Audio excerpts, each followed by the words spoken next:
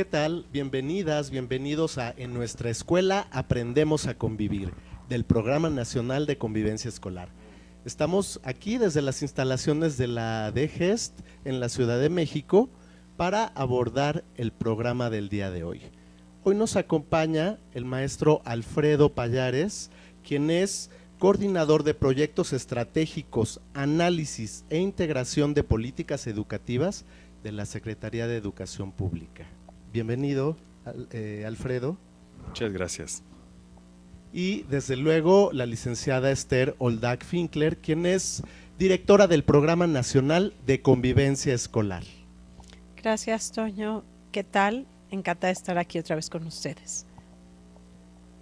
Y el día de hoy vamos a abordar un tema sumamente importante. Reconozco y manejo mis emociones. Vamos a ver el siguiente audiovisual, la siguiente cápsula. Corre video.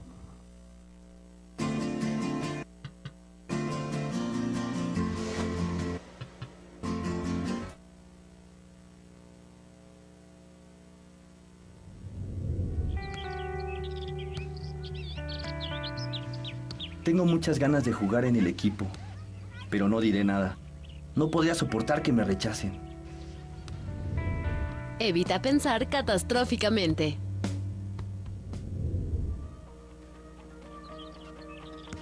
Preguntaré si puedo ser parte del equipo. Yo sé que juego bien. No pierdo nada preguntando.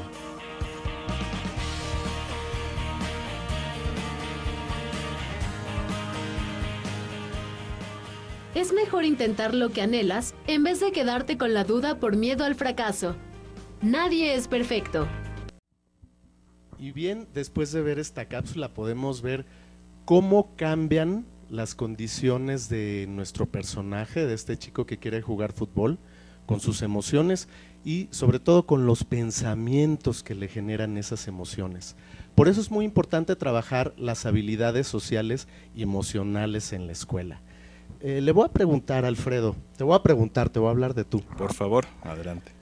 Eh, ¿Por qué consideras que es importante incluir las habilidades sociales y emocionales en la formación de, de los alumnos? Bien, me da mucho gusto estar el día de hoy con ustedes y poder contribuir con algunas ideas y reflexiones en torno a la formación socioemocional de nuestros alumnos y de los docentes. Por supuesto que es importante porque tanto ustedes alumnos como nosotros docentes somos antes que otra cosa seres humanos.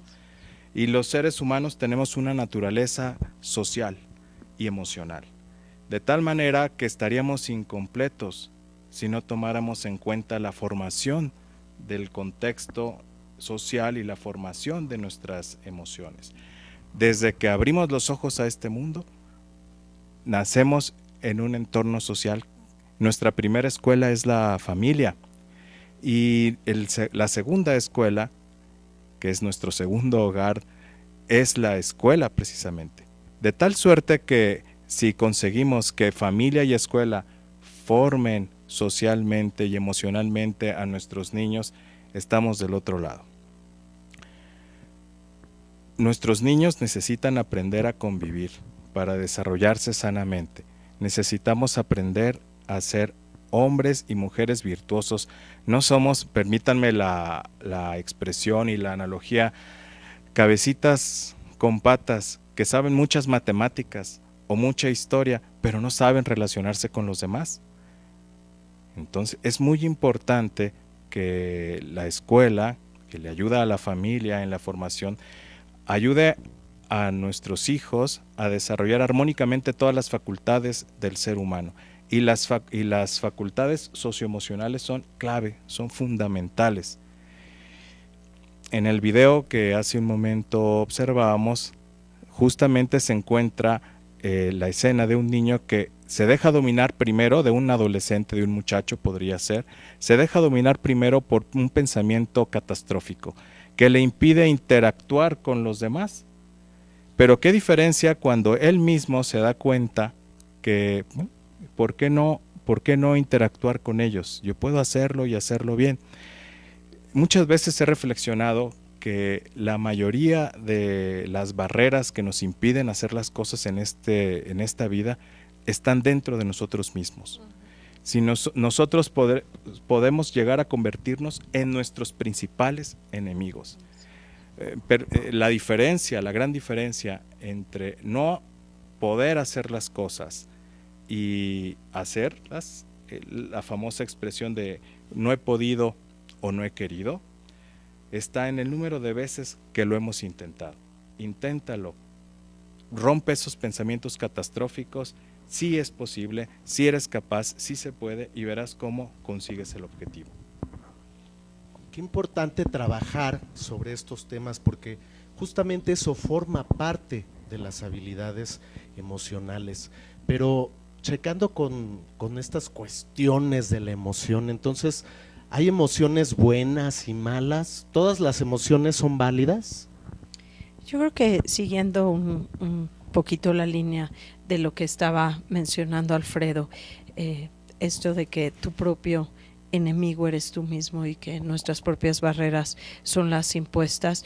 Yo creo que eh, lo más importante en las emociones es precisamente entender que todas las emociones son válidas, Toño. No hay emociones buenas y malas. El enojo, la tristeza, la angustia, la ansiedad, el miedo, si no existiera, no podríamos sobrevivir. Son una alarma que le indica a nuestro cuerpo que algo no está funcionando adecuadamente. Es decir, si tú sientes angustia y sientes enojo, es que estás incómodo porque algo está sucediendo y hay un peligro y no podrías correr, si no sentiríamos miedo no podríamos sobrevivir como especie, ¿no? Entonces sí son válidas y la idea es en la forma, lo que no es válido es la forma en que las expresas. El enojo es válido, pero lo que no se vale es lastimar al otro. Se vale decirlo, hay una palabra que es la asertividad, ¿no? Que todo radica en la forma en que lo dices, es decir, sí podemos estar enojados, pero no se vale pegar y golpear para expresarlo. Tendemos normalmente a negar nuestras emociones tanto padres como alumnos, ¿no? Les decimos se cae el niño, ¿no? ¿Y qué es lo que primero le dicen los papás? ¿Qué le dicen? No, pasó nada. o no llores. Es que ¿por qué lloras? No es para tanto. ¿No? Y tenemos que tener empatía, que es ponerte en los zapatos del otro. ¿No? Y te caes y tienes al niño ahí todo sangrado. Y no pasó nada, no pasó nada. ¿no? O los hombres no lloran, que tiene que ver con estas cuestiones de género. ¿no? Eh, sí tendemos a ver las emociones como malas y como buenas y la verdad es que no hay tal, la verdad es que tenemos que aprender que el enojo, la tristeza, la angustia son igual de valiosas que la alegría, que la felicidad y que la emoción si las manejamos adecuadamente y si podemos darnos permiso de expresar nuestras emociones y nos damos permiso de decir lo que sentimos y ser genuinos con lo que sentimos sin miedo mientras lo expresemos en forma asertiva, en forma honesta, en forma tranquila, sin llorar, sin gritar. La violencia no se justifica, ninguna emoción justifica la violencia, ¿no? Que también tenemos que aprender a tomar la responsabilidad de nuestras emociones, no puedo decir, es que tú me hiciste enojar, ¿no? Porque tú decides cómo reaccionas como niño de la cápsula, ¿no? No es lo que te pasa afuera, sino es lo que tú interpretas de lo que te está pasando afuera y tenemos que aprender a darnos derecho a sentir, pero en forma responsable y forma asertiva, que es lo que hace toda la diferencia. ¿Habría entonces una forma de expresar asertivamente estas emociones? ¿Cómo podemos lograrlo? Yo creo que la idea es subirle al volumen justamente estos pensamientos de los que hablaba la cápsula y, Alfredo hace un momento y saber que eh, una vez que te escuchas, los pensamientos son los que anteceden a la emoción, como vimos en la cápsula. Es decir, si yo pienso no es justo, me odian, voy a perder, no me van a aceptar, lo que voy a sentir es angustia o enojo. No, no me quieren, ¿no? estoy furioso o lo voy a matar. ¿sí? En cambio, si tú piensas, bueno, no es el fin del mundo, lo voy a intentar, después de todo no es tan grave, te cambia la circunstancia y te cambia la emoción. Entonces, algo que los jóvenes pueden hacer para controlar sus emociones es subirle el volumen a ese pensamiento y si es catastrófico, redireccionarlo a algo más positivo, dejar de decir siempre, dejar de decir nunca, yo no puedo. Estos son pensamientos que disparan el enojo, eh, pensamientos que generan violencia. Te odio, es que no es justo, porque a mí, y redireccionarlos por puede ser que no lo hizo a propósito, ¿no? Es el fin del mundo, ¿Por qué no dialogo con él? ¿Por qué no le explico lo que siento? Y al redireccionar cambia automáticamente la emoción. Entonces, el responsabilizarte por tus pensamientos y por tu emoción hace la diferencia y el no recargárselo a los otros. Ahí es donde está como toda la magia del control de las emociones, en responsabilizarte por tus propias emociones, escuchar tus pensamientos, redireccionarlos y la emoción automáticamente cambia, aunque la circunstancia no cambie. Entonces ahí diríamos que qué importante entonces aprender a redireccionar estos pensamientos cuando a veces no nos favorecen o nos impiden hacer distintas cosas y pues eso nos pone en otra emoción, nos crea otra emoción que seguramente nos pondrá en condiciones de mejorar nuestra actividad. En ese sentido, eh, te preguntaría, Alfredo, eh, ¿qué relación guarda entonces el, manejar estas habilidades sociales, en aprender a autorregular nuestras emociones con tener líderes exitosos, con educar, generar líderes exitosos? Bien, eh, antes de entrar a lo profundo en la respuesta a la pregunta que me acabas de hacer, yo quería eh, abundar un poquito en lo que decía Esther hace un momento, porque resulta que las escuelas se convierten en laboratorios sociales, de tal manera que estamos aprendiendo lo que va a suceder cuando seamos adultos, de tal suerte que ahí al interior de la escuela nos topamos con con lo peor y lo mejor de nosotros mismos y lo peor y lo mejor de los demás. El, muchacho y los jóvenes, adolescentes aprenden a, a sortear pues las dificultades, el enojo, el estrés en la escuela como sucederá en algún día cuando ellos sean adultos, padres de familia. De tal suerte que, de tal manera, perdón, que si lo, lo aprenden a hacer bien como nos sugería la doctora Esther, controlando esos pensamientos catastróficos, van a hacerse de herramientas para que una vez que se conviertan en, en adultos, sean adultos sanos, que promuevan la convivencia, convivencia armónica y la formación de sus hijos en ese mismo sentido. Y contestando en concreto a tu pregunta, tiene mucha relación porque un líder, antes que otra cosa, tiene que ser dueño y señor de sí mismo, tiene que tener señorío sobre sí. Y una persona que no regula sus emociones es imposible que tenga señorío sobre sí mismo. De tal manera que tiene que saber también hacia dónde va, quién soy, a dónde voy, qué quiero de mí, qué quiero de la vida, para qué estoy aquí, qué es lo que me hace feliz. Una vez que lo descubra, entonces puede invitar a otros a seguirle en ese camino. Por eso es muy importante que un líder maneje bien las emociones, porque le permitirá tener los elementos para convertirse en un auténtico líder. Y en segundo término, porque como va a liderear a otros, una persona que conoce sus emociones entenderá y tendrá más herramientas para conocer las emociones de los demás. Es decir, como hace un momento se mencionó, será empático.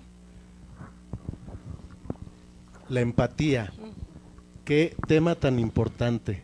Ahora que entramos con la empatía, justamente los invito a ver el siguiente material audiovisual. Corre video.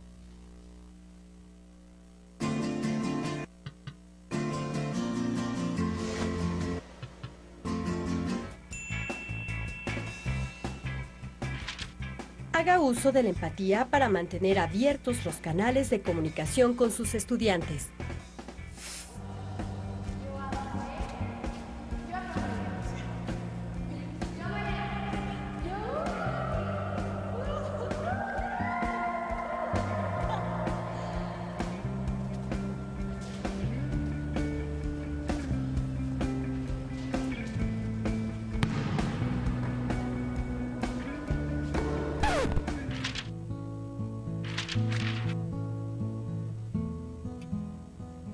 Tomaron en cuenta para jugar.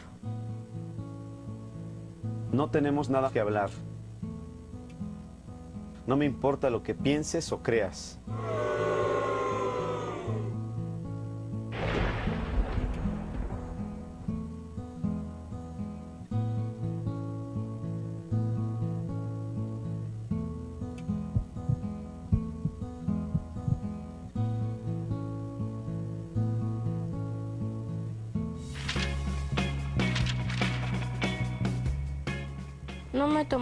Cuenta para jugar.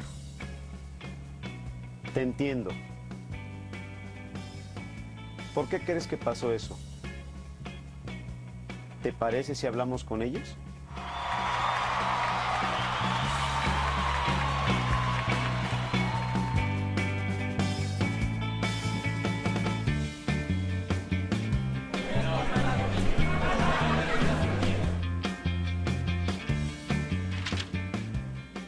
Valide el punto de vista y las emociones de los estudiantes. Esto los ayudará a expresarse con mayor facilidad.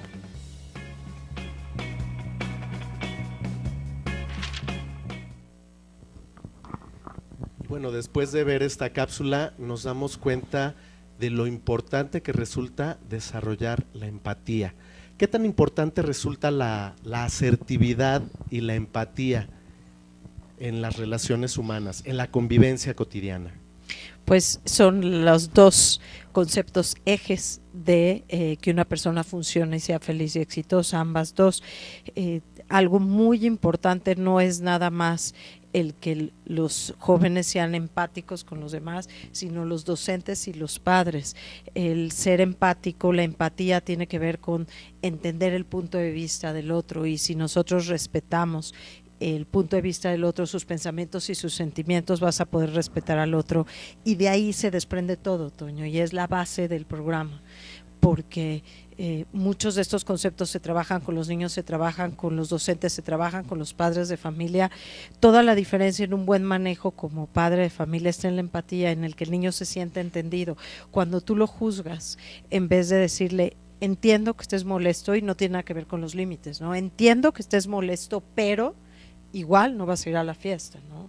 O entiendo qué difícil debe haber sido para ti que no tuvieras la oportunidad de hacer esto, pero, y después puedes poner el límite, pero cuando el ser humano se siente entendido, sobre todo los docentes a los niños, les dan este vocabulario de esto que te pasa, se llama así, y yo entiendo que estás muy frustrado, muy molesto, los niños y los jóvenes van ampliando su vocabulario de emociones y van sintiendo esta sensación de, ah, ok, entonces no estoy tan mal lo que siento está correcto, ¿no? El validar las emociones del otro, yo entiendo que puedas estar muy enojado porque te quitó tu trabajo o porque no se respetó, se burló de ti, pero el pegar no va a resolver, que es parte de la asertividad. Díselo de otra manera. Dile, me enojó que me hayas quitado el trabajo. O me enojó que te hayas llevado el libro sin pedirme permiso. El, pero esto es una parte donde el docente no puede trabajar con el niño si él no sabe manejar sus propias emociones, porque como decía Alfredo, la clave del éxito está en el interior. Por eso es que el éxito del Programa Nacional de Convivencia Escolar es trabajar con toda la comunidad educativa, porque eh, la casa es primordial, la escuela es primordial, los alumnos son primordiales y lo que hacemos es eh, generar esta estrategia a toda la comunidad escolar para precisamente poder trabajar desde todos los frentes esta parte de las habilidades sociales y emocionales, el desarrollo de la empatía, el desarrollo de la asertividad.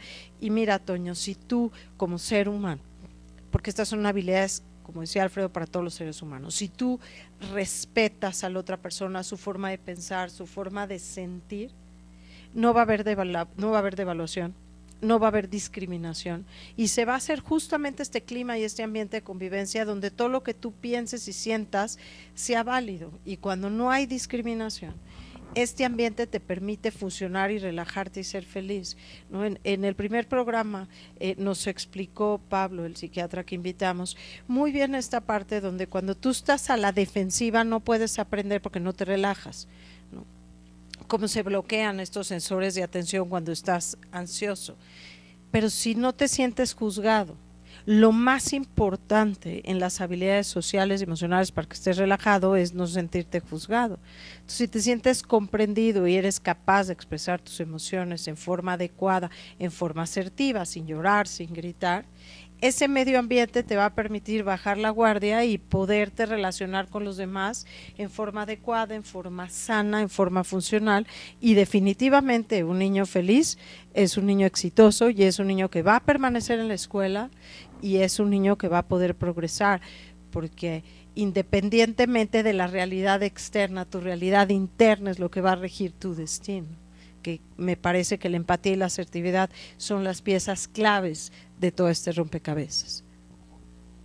Empatía, asertividad como parte de las actividades, de, las habilidades emocionales que hay que desarrollar.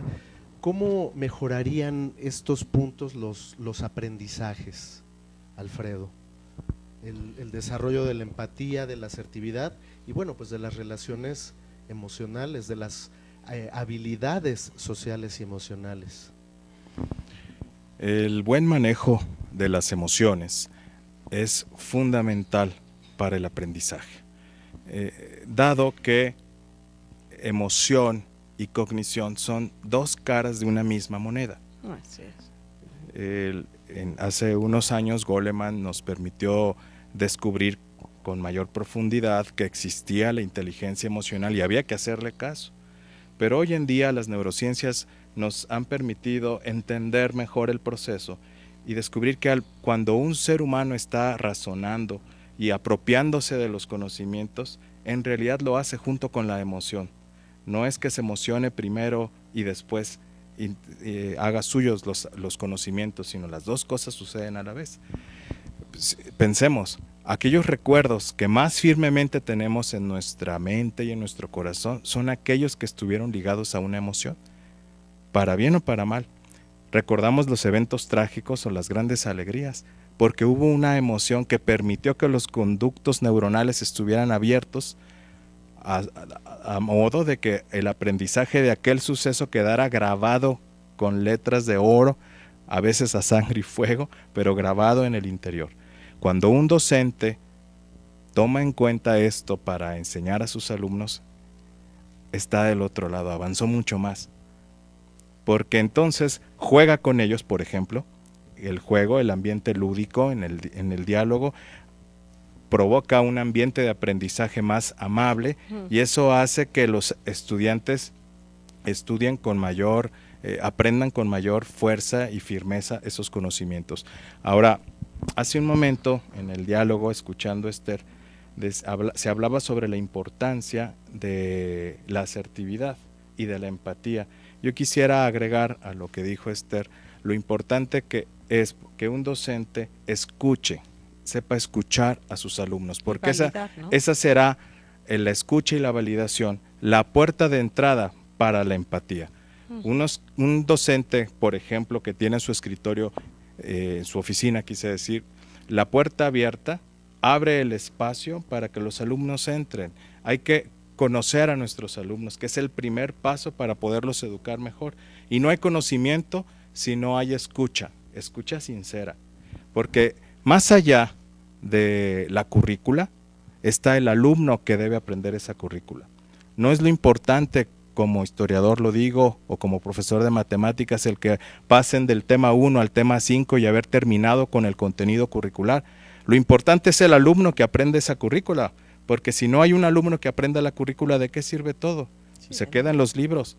Si nos preocupamos por el ser humano que está detrás, que son esos, esos jóvenes y esas muchachas que están por aprender, entonces tenemos más eh, posibilidades de éxito. Porque, como hace un momento mencioné al, empezar, es un ser humano el que está aprendiendo en un contexto social y emocionalmente cordial.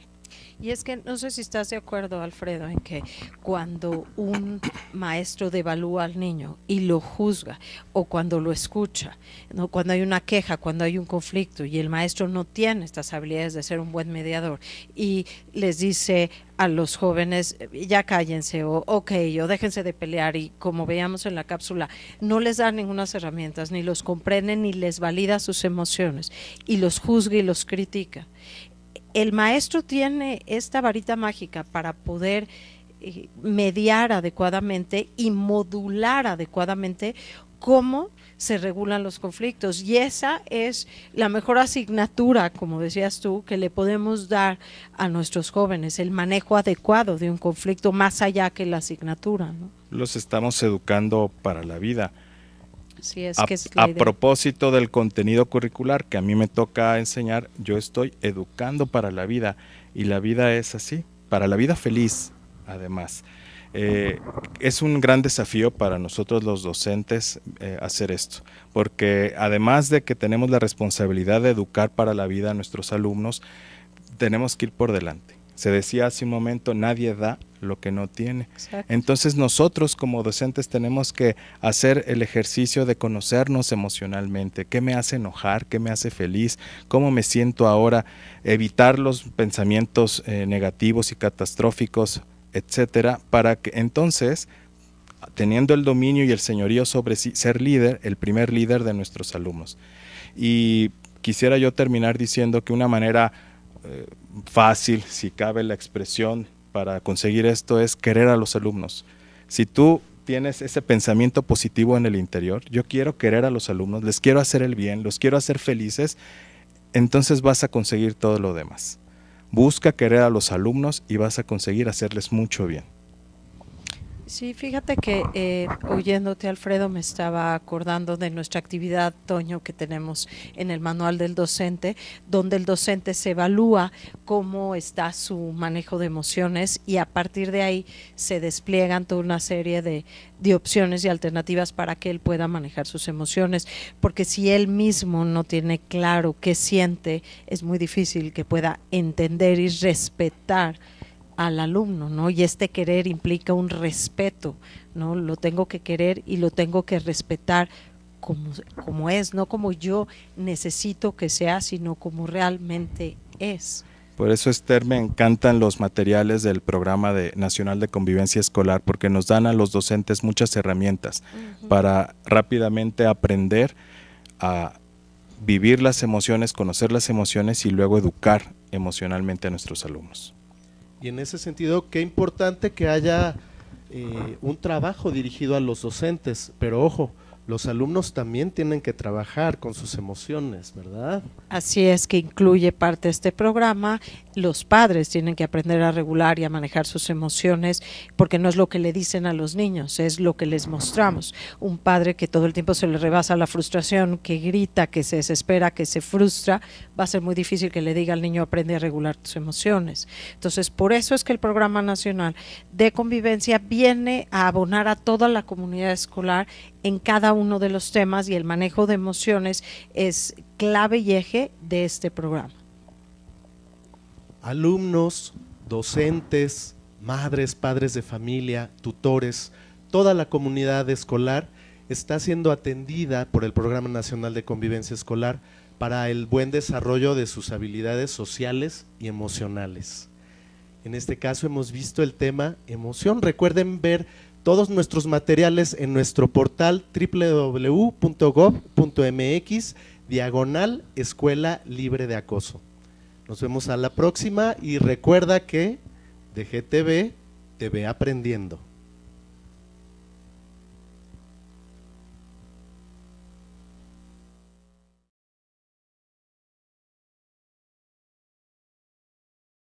Secretaría de Educación Pública, Gobierno de la República.